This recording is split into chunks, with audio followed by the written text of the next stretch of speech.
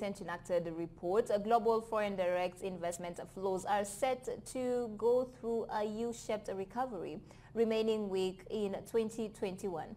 The UN agency says that this year's FDI prospects for developing countries is a point of major concern. Earlier, we spoke to UNCTAD's Director for Investments and Enterprise, James Zhan, for more. The pandemic's uh, negative impact on FDI is being amplified, in fact, due to the, um, uh, the low commodity prices and the dampened uh, demand for raw materials. Um, and these are additional factors to the pandemic. For the pandemic, of course, um, this is the disruptiveness um, of, um, of the global supply chain that impacted on the foreign affiliates operating in East Africa. Um, in fact, the, uh, the pandemic caused uh, um, a kind of a triple shock, supply, demand, and policies. Um, in that sense, according to our uh, preliminary data, the COVID-19 pandemic reduced FDI flows to East Africa in 2020 by 21% to an estimated 6.2 billion US dollars, compared with the 7.8 billion US dollars in 2019. Um, for example, inflows to Ethiopia declined by 17%, but was still substantial at 2.1 billion US dollars. Um, the major investment to the country in 2020 were received in the manufacturing, agriculture, hospitality sectors, and uh, FDI inflows um, were also uh, steady in, uh, in countries like Mozambique, um, despite the fact that there was a decline, a decline was only 6% to 2 billion US dollars as in the implementation of the 20 billion US dollars of planned investment. Um, so in general, we see that some countries in East Africa weathered the, the, the pandemic storm better compared with other parts of the world. For example, FDI flows into Europe mm. is almost zero, and to European Union reduced by two thirds. Yes, now just looking at the numbers you've given us as well as uh, the United Nations agency say that uh, FDI collapsed last year, falling by 42% in 2019 to an estimated 859 billion US dollars in 2020. Just to talk to us about these numbers and the predictions for this particular year, 2021.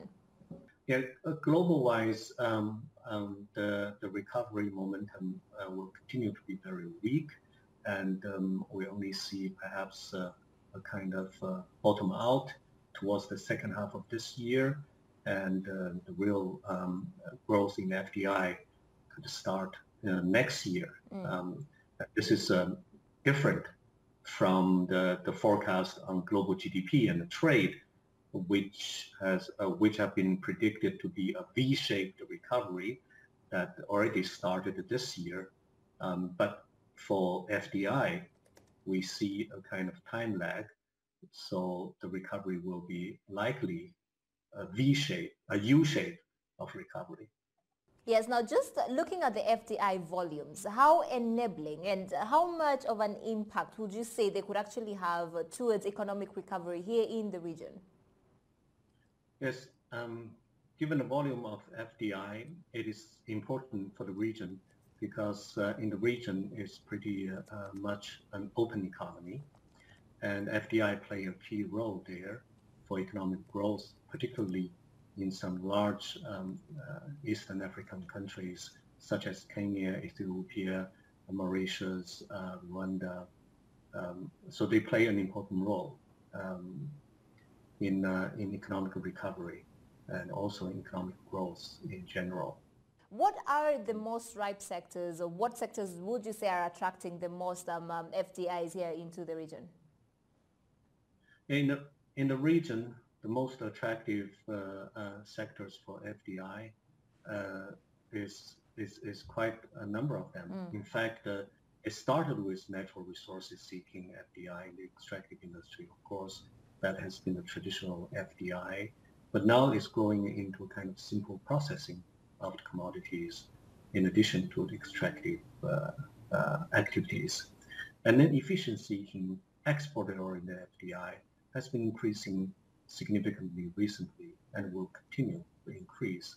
And for example, the horticulture uh, sector that provide uh, an important supply to European market, and the garments, the footwear, uh, the travel goods, um, simple electricity products, and uh, most recently, the PPEs, that is uh, personal protective equipment in light of the, of the pandemic. And in fact, um, a number of foreign affiliates just shifted their um, uh, production from the normal uh, kind of garment, footwear, uh, and simple electricity to the production of um, of uh, pandemic-related products, the PPEs. So that is a kind of a quick response. It play a key role in the region in response to the pandemic. The market-seeking investment uh, has been growing very fast, particularly in services sector, uh, and driven by the digital uh, economy, the ITC, uh, ICT, and also um, finance sector. Um, mobile, uh, mobile financial services has been growing very fast. Um, infrastructure building has been growing also very fast to provide infrastructure for telecom, of, of course, as the retail and tourism. So in these areas, FDI play a key role mm. and will continue to play a key role in economic development and job creation in the region. Yeah, as you said, we've seen a shift and a growth of, in different parts of the economies here in the region. But just give us a glimpse outlook. Fast forward 10 years from now, what will we be looking at? Um, 10 years from, from now, aside from um, those sectors I mentioned in manufacturing and uh, in services, um, one important um, uh, potential for FDI is uh, sustainable development driven. Mm and that relates to the SDGs, the global uh, endeavor for sustainable development. That will um, stimulate investment and create a lot of um, uh, opportunities for investment in, in particular in the green and blue economies in the region. And, uh, and we also, we have already seen that leaders in the country have positioning the economies there towards the blue economy, towards the green but this is the, the, the, the big uh, kind of shift we'll see FDI into this area. And the potential source is not only traditional multinationals, but also impact investment. As we know that impact investment has been growing very fast. The sustainable, uh, the sustainability themed uh, investment funds in terms of equity, in terms of green bonds, in terms of social bonds, have been growing very fast and have reached, according to our data, is 1.4 to 1.5 trillion US dollars. And they, they, they, are, they are waiting for pipeline uh, investment projects in the continent like Africa and in East Africa, uh, for example. So um, sustainability driven or sustainable development driven type of investment is important uh, is a potential uh, in the years ahead. The second is that um, um, FDI in digital economy related uh, sectors. So um, the digital economy uh, will play a key role and will continue to play a key, key role in this region. In fact, um, uh, the region has leapfrogged in its um, uh, telecommunication and through the tele telecommunication, the related services.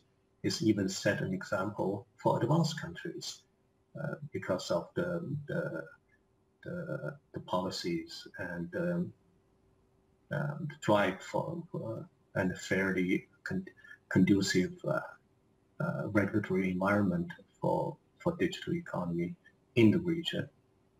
Yes, now with growth and development, we've also been seeing the global investment policies have been evolving with time. How are they impacting um, the FDIs coming into the region? Yeah, policy matters. Policy matters because um, it, it, ensures uh, attracting the right investment and it, ensures to uh, that investment benefit positively to the country it ensures uh, that uh, the, the population, the poor population in the, uh, in the, in the region benefit from FDI and to minimize the negative impact of, of FDI.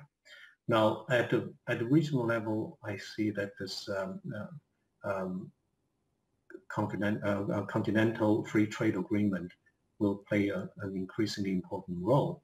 I think the, the trade aspect has been uh, agreed upon and the investment protocol is being negotiated. And once it is done, that will play a key role in promoting, facilitating investment into the region and also intra-regional investment will increase a lot. There are also challenges uh, in the other regions. They also put in place a lot of uh, investment promotion facilitation um, measures and collective measures such as the recent uh, the, the in, in, in the, the ASEAN 10 countries plus five, that they also put in place um, um, liberalization, facilitation, promotion, protection measures in, in, in the intra-regional investment, and that will consolidate investment in the region. And, uh, and um, so there are some kind of um, potential competition, but African continent has a lot, uh, lot of potential. As I mentioned earlier, if, con if countries in, uh, in East Africa um, um, focus uh, well on the sustainable development dimension of the investment policies, and that will attract tremendous FDI into the green and blue economies and in, into the uh, uh, infrastructure for public services. But these sectors are, are sensitive also, so government needs to have the policies to ensure that goods and services that provided by uh, multinational companies are affordable and accessible by the poor because this is public services. So policy matters a lot. Yes. Now, are there optimisms brought about by the COVID-19 vaccine and the rollout plans that have been put in place? Are they increasing activity in this front? Are we seeing maybe a glimpse of hope when it comes to increase in the 2021 outlook? Well, that's um, that's that's the right question to ask now. Um, in fact, uh, according to our data, the immediate uh, prospect for for uh, of FDI for Africa is is gloomy. Uh, it's not so promising, um, as we have witnessed that um, um, the greenfield investment announcement that's the indicator for the future uh, FDI flows to the region uh, declined declined significantly. And these project announcement and also cross-border international investment finance, um, that's what we see with project finance, also declined. Short-term wise, um, we see the serious negative impact by the COVID-19